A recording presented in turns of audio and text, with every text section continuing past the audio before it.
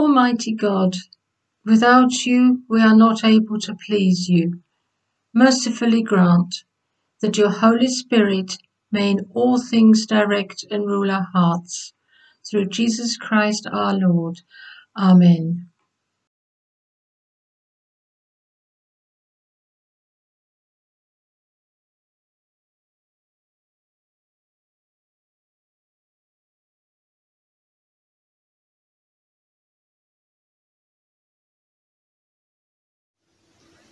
Listen to what the Lord says. Stand up, plead my case before the mountains. Let the hills hear what you have to say. Hear, you mountains, the Lord's accusation. Listen, you everlasting foundations of the earth. The Lord has a case against his people. He is lodging a charge against Israel. My people, what have I done to you? How have I burdened you? Answer me. I brought you up out of Egypt and redeemed you from the land of slavery. I sent Moses to lead you, also Aaron and Miriam. My people remember what Balak king of Moab plotted and what Balaam son of Beor answered. Remember your journey from Shittim to Gilgal, that you may know the righteous acts of the Lord. With what shall I come before the Lord and bow down before the exalted God? Shall I come before him with burnt offerings, with calves a year old?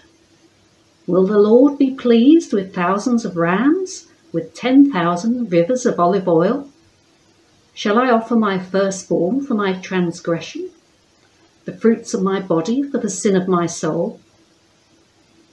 He has shown you, mortal, what is good and what does the Lord require of you? To act justly, to love mercy, and to walk humbly with your God.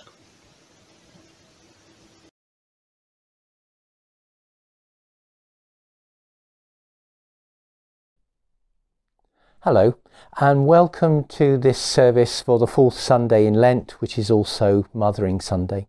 And we're continuing our theme of a Methodist way of life, and the title for this week is Service. One of my father's favourite television programme series was Crown Court. It ran between 1972 and 1984. There would be three half hour programmes shown on consecutive days with the story and the action confined to a courtroom.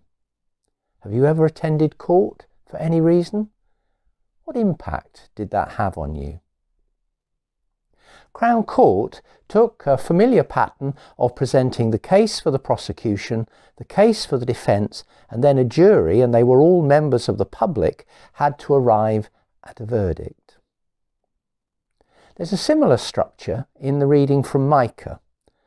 In verses 1 to 5, the prophet, as barrister, presents God's claim that his love and generosity towards Israel has been ignored, and the mountains, strong and enduring, are called as witnesses.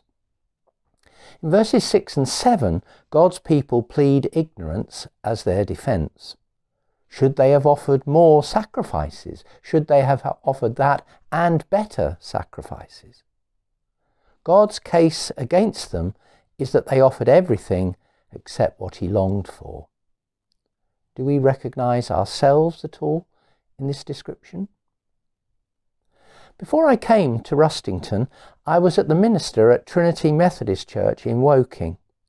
The text of Micah 6 8, the last verse in our reading, where the prophet becomes the judge and says, God has told you, you know, what is good. Those words were and still inscribed on two banners that hang at the front of that church. At every service, they posed the questions have you heard what God has said? Will you choose to live in that way? Asking how we should live is at the core of a Methodist way of life. And in Micah 6 8, that way is described as justice, kindness, and a humble way of life with regard to both our neighbour and God Himself. How do we reflect on those values on Mothering Sunday. How do we think about combating sexism and not just offering sentiment?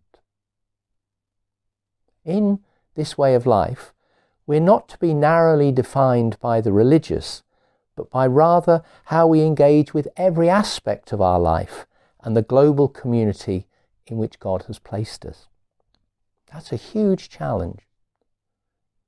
Is it the case that Jesus offers us a model of what that means and how we should live? Amen.